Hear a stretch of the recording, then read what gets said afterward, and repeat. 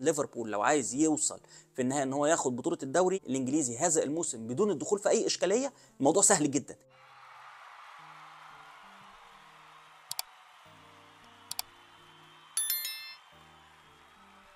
ليفربول ومحمد صلاح في مواجهة مصيرية أمام مانشستر يونايتد على الأولد ترافورد. طبعا لعبة الكراسي الموسيقية ما زالت مستمرة بكل إتقان. ما بين ليفربول وما بين مانشستر سيتي وما بين أرسنال. مانشستر سيتي استطاع إن هو يفوز فوز كبير على ري كريستال بالاس بنتيجة 4 2 وأرسنال استطاع إن هو يفوز على برايتون بثلاثية نظيفة. وبالتالي لعبة الكراسي الموسيقية ما زالت مستمرة. أرسنال في الصدارة 71 نقطة ليفربول ومانشستر سيتي الثنائي ب 70 نقطة لكن ليفربول بيتفوق على مانشستر سيتي بفارق الأهداف.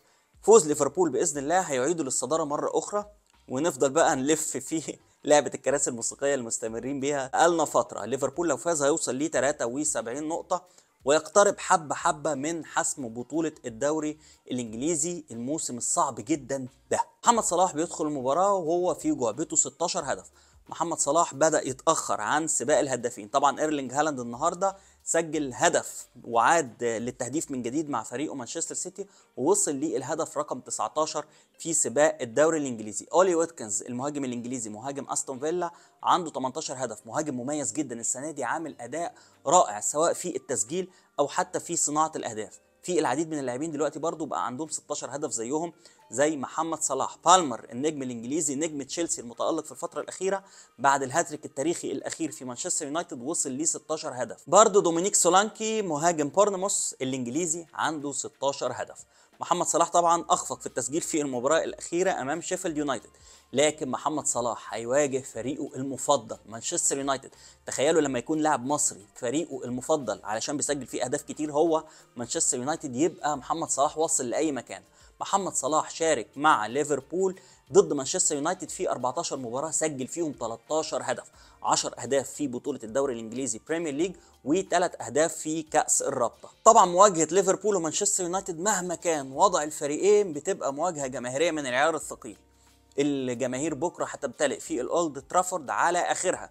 وهتحسوا من جماهير مانشستر يونايتد إن هي بتلعب على بطولة الدوري مش مجرد فريق يعني تقريبا شبه فقد الأمل في الوصول لدوري أبطال أوروبا هذا الموسم لأن التاريخ الكبير جدا والتنافس التاريخي ما بين الفريقين بيعطي للمباراة طابع آخر.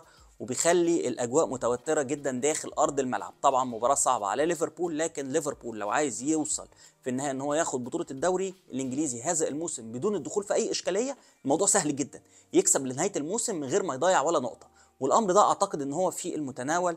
لو استمر الفريق على مستواه المميز في الفترة القادمة بإذن الله. طبعا النهارده مانشستر سيتي كسب فوز كبير على كريستال بالاس 4-2. عايز أتكلم شوية عن كيفن دي بروينا اللاعب خط الوسط البلجيكي المميز. في رأيي الشخصي اللي دايما بقوله كيفن دي بروينا هو أفضل لاعب خط وسط صانع ألعاب بعد زين الدين زيدان في الكرة العالمية ما أعتقدش إن في لاعب خط وسط بالإمكانيات دي ظهر بعد زيزو غير كيفن دي بروينا سجل هدفين النهارده في منتهى الروعة هدف من تسديدة رائعة راحت R 2 بشكل يعني غريب. كمان ساهم في صناعة هدف آخر. كيفن دي بروينا بيديك فكرة قد إيه ال squad بتاع فرقة مانشستر سيتي squad مميز جدا. يعني تخيلوا لما يكون كيفن دي بروين أحيانا ما بيبدأش المباراة واحيانا نجوم من فرقة مانشستر سيتي ما بيبدأوش المباراة عادي جدا. وجوارديولا بيقدر يحط تشكيلة قوية عادي جدا وبيقدر يفوز في النهاية بدون اللعيبة اللي إحنا بنقول عليها أساسية.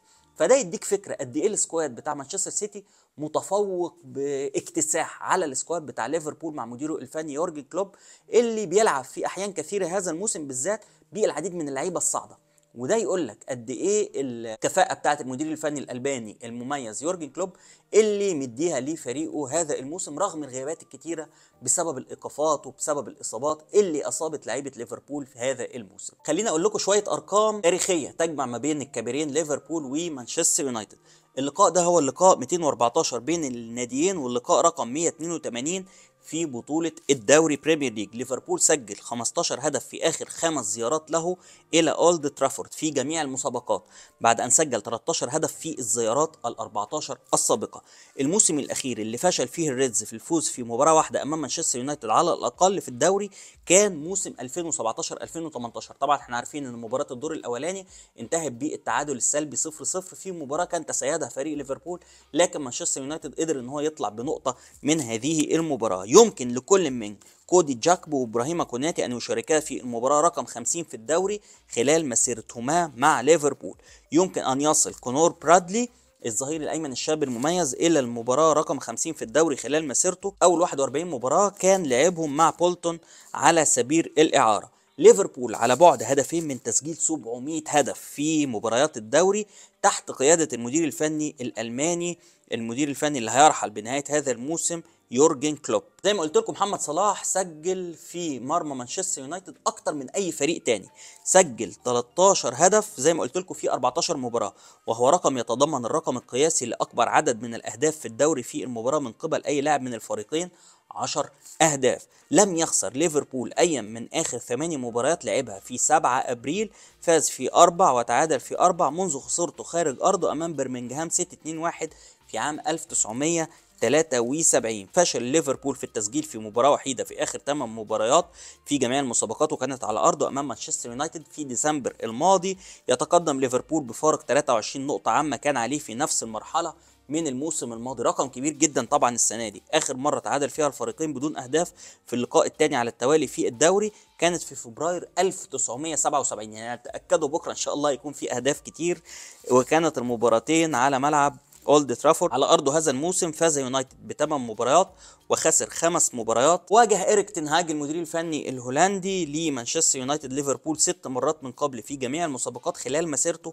فاز في اثنين وخسر في ثلاثة وتعادل في مباراة واحدة فقط لا غير. طبعا كان في مباريات تانية أقيمت أستون فيلا وبرنتفورد انتهى المباراة بالتعادل 3-3 إيفرتون فاز على بيرنلي 1-0 فولهام خسر على أرضه أمام نيوكاسل يونايتد 1-0 لوتون تاون فاز على بورنموث 2-1 وولفز وولفرهامبتون خسر على أرضه أمام وست هام 2 1 بكرة بإذن الله بعد المباراة بتاعه ليفربول ومانشستر يونايتد اللي هتكون الساعة 4 ونص بإذن الله بتوقيت القاهرة عندنا برضو مباراة شيفيلد يونايتد وتشيلسي.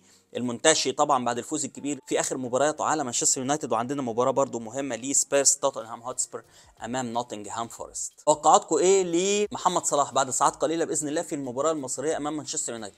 هل يقدر إن هو يهدف مرة أخرى في الشياطين الحمر ولا اللي حصل في المباراة الماضية والتأثير بتاع إخراجه بعد مرور ربع ساعة من الشوط الثاني والكلام اللي اتقال إن هو علشان صايم ولياقته البدنية متأثرة ولياقته الفنية متأثرة ممكن يأثر على أداء نجمنا العالمي الكبير محمد صلاح في مباراة مانشستر يونايتد. المباراة الأهم هذا الموسم لليفربول. يا ريت تقولوا لي آرائكم في الكومنتات وتوقعوا محمد صلاح هيقدر يسجل بكرة ولو قدر يسجل هيسجل كام هدف.